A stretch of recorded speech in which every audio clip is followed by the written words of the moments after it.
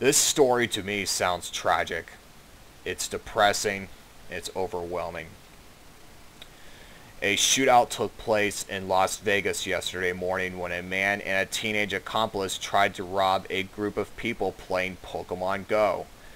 AP reports that the pair in a large SUV drove to Gary Reese Freedom Park, which has become a popular Pokemon Go hotspot to catch Pokemon.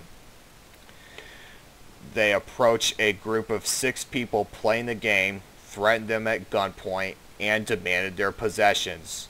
One of the Pokemon Go players, however, had a concealed weapons permit, pulled out his gun, and a shootout took place.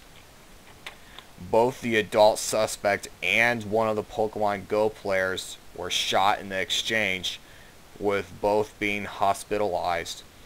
Both injuries are described as being non-life threatening. The driver and his accomplice are now facing charges.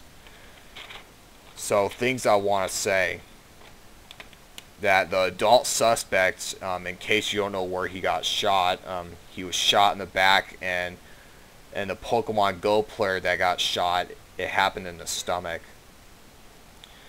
And and both of these guys survived miraculously. I mean, especially the Pokemon Go player. I mean, getting shot in the stomach and surviving is like, to me, that sounds like a miracle. Because most of the time, you know, if a bullet hits a major organ in your body, usually it results in death. So,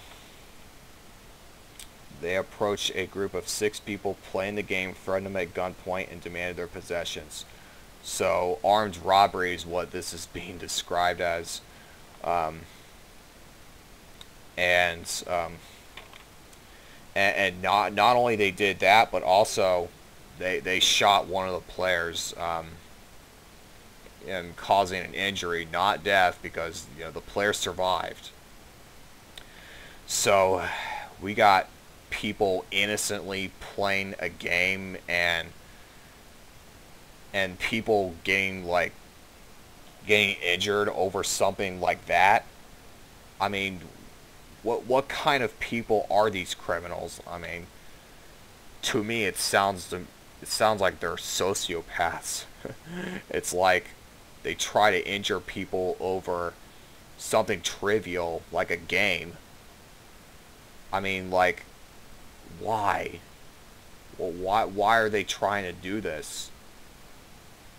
I mean, these guys are such idiots, man. I, I hope they do like four decades in federal prison or something really draconian. Um, it, it's like human beings can't have nice things. And let's see, is there anything else I had to say? the driver and his accomplice are now facing police charges. So um, the last time I tried doing this story, you know, when I said that, you know, one of the Pokemon Go players um, who who was like trying to defend himself and, and, still got like, you know, police charges along with a suspect. Um, I actually reread the article and that wasn't the case. Um, it, it was the criminal and the assistant criminal that got charged because I, I, looked up the definition for accomplice. Um, I Google searched it, and, and what it returned to me was that accomplice is the one that's assisting the criminal.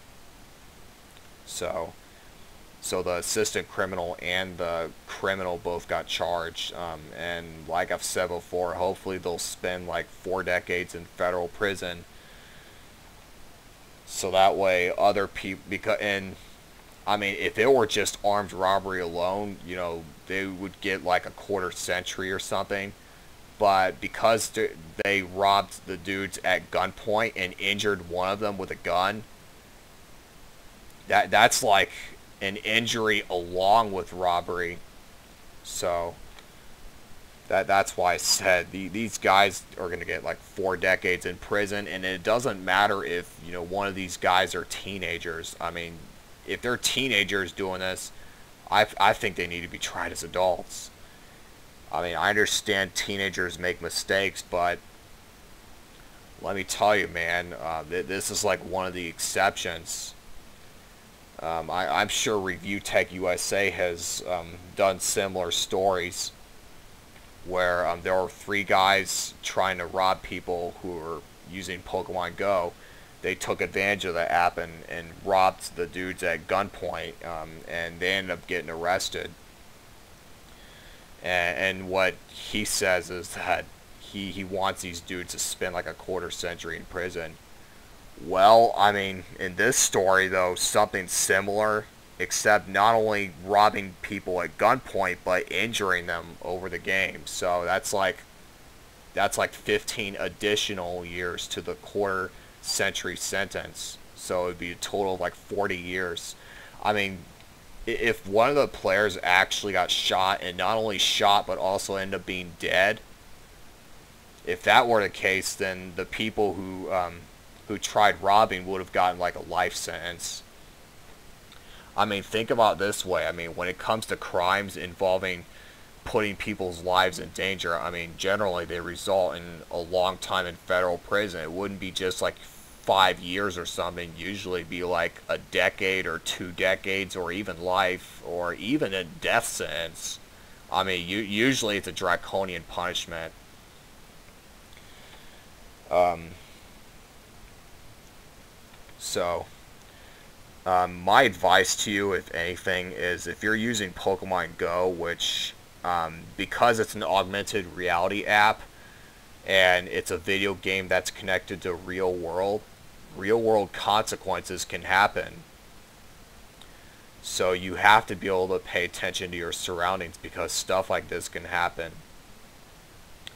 So um, if you have any thoughts about this, be sure you leave them in the comment section below. Um, if you enjoyed this video, I mean, be sure you give it a thumbs up. If you would like to see more of my activity, um, be sure you subscribe to my channel. Um, if you're if you're one of the subscribers, I mean, well, my suggestion is, you know, be sure you're you're watching my videos because I mean, I've already said this in my in some of my other videos that it's like Facebook. I mean, what's what's the point of having 1,000 friends on Facebook if most of them don't even interact with you? Answers, there's no point. Well, with YouTube and subscribers, it's the same concept. So, anyways, um, I sincerely hope that all of you have a good night. Peace out.